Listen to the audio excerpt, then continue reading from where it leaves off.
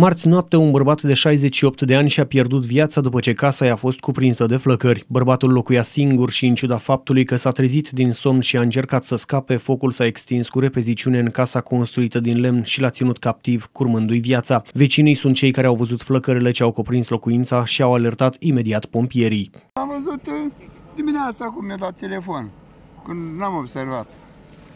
Mai arde casa de aici, a vecinul Jicu. Da.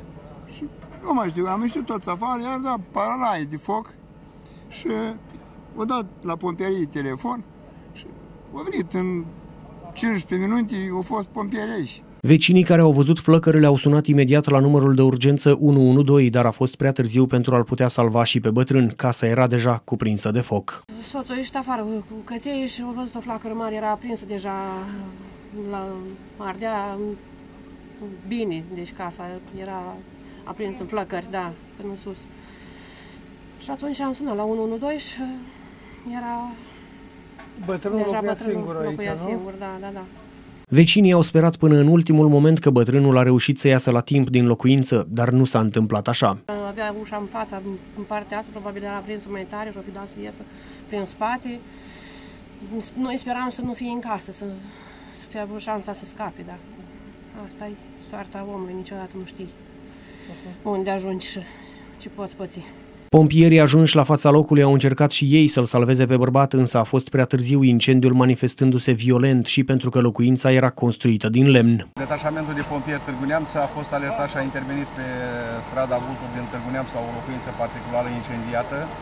Din datele pe care le aveam în interiorul locuinței s-ar afla și o, s-ar fi aflat și o persoană.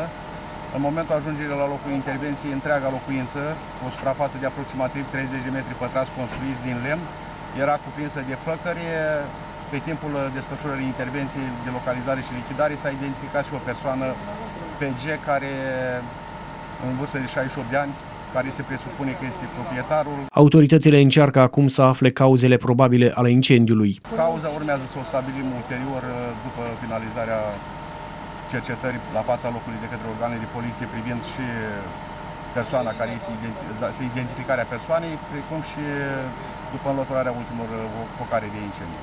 Reamintim faptul că la finele săptămânii trecute o bătrână din satul Icușește a ajuns în stare gravă la spital cu arsuri de peste 60% din suprafața corpului după ce locuința i-a luat foc. Pompierii au stabilit că de vină pentru producerea incendiului a fost lăsarea unor materiale textile prea aproape de foc. Specialiștii recomandă cetățenilor să curețe coșurile de funingine și să nu lase materiale inflamabile lângă foc.